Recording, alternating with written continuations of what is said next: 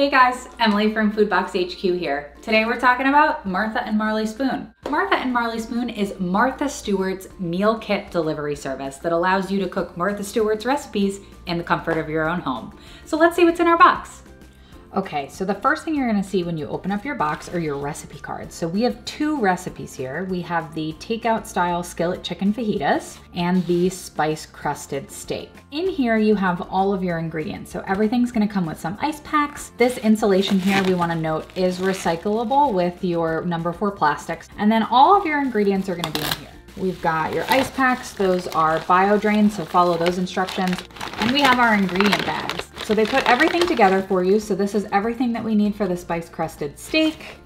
And then this is all of the stuff that we need for the chicken. There's always gonna be a couple of ingredients that are held out and that's because those need to be refrigerated a little bit further. So you can see there's a bunch of them underneath this ice pack. So we've got some roasted red peppers. We've got some feta cheese. We've got our steaks here, sorry, sirloin steak, our chicken breast, some garlic, some sour cream, and last but certainly not least, some shredded cheese. Let's get organized and talk a little bit more about how this works.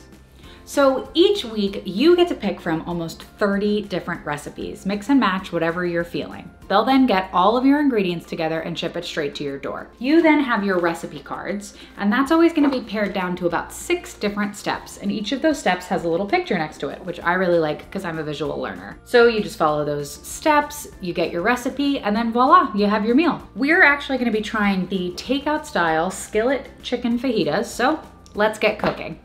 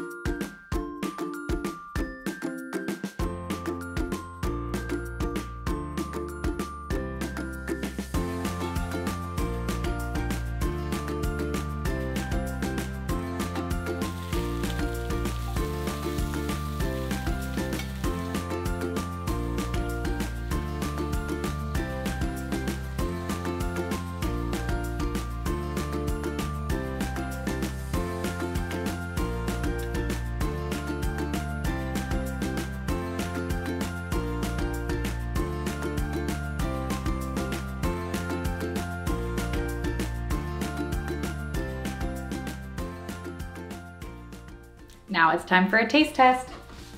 We'll grab a tortilla, a sour cream in there, some peppers, grab a little bit of cheese, and then last but not least, a little bit of lime. All right, here goes nothing.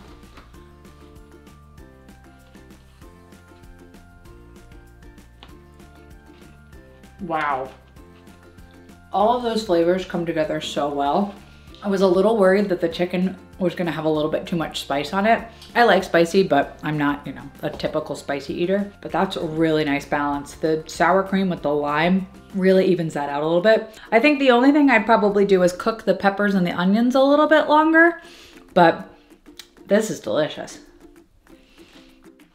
Mm. All right, I'm gonna go finish my dinner, but I'll see you in a little bit for some final thoughts.